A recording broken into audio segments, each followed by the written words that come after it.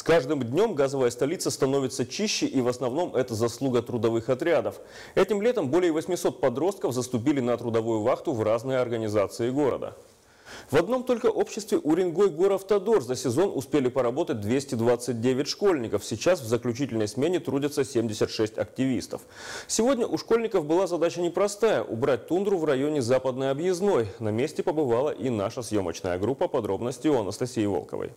Фасовочные пакеты от древесного угля, обертки от мороженого, пластиковая посуда, как напоминание о недавнем пикнике. Только убирать тундру за нерадивыми горожанами теперь приходится трудовым отрядом. В одном только обществе Уренгой Горавтодор этим летом потрудились 229 школьников. Заявку я подала месяц назад, а решила работать, чтобы убить время и э, провести день с пользой. Работать мне нравится, потому что мы хорошо проводим время и веселимся. Также, э, если выдается свободная минутка, мы можем пожарить сосиски и в целом все хорошо. Э, убираться нравится, потому что мы как бы делаем город чище, а экология это, мне кажется, важно для нашего края.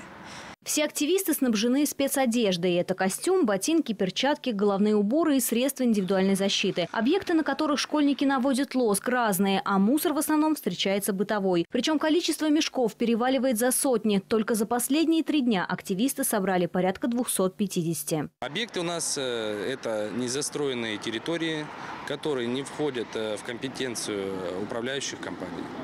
То есть это и аэропорт, территория там получается от кольца до газовой заправки, это и территория района Петуха.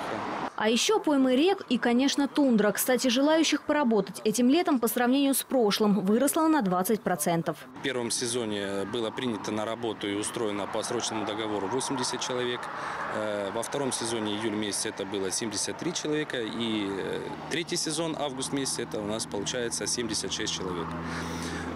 Э, значит, помимо всего этого, на группы разделены, за ними закреплены комиссары, которые непосредственно ежедневно с ними работают. Причем одна из главных обязанностей комиссара – диалог с подрядными организациями и контроль вывоза собранного мусора на полигон ТБО. Он должен быть ежедневным. Анастасия Волкова, Артур Цвилюк, служба новостей «Импульс».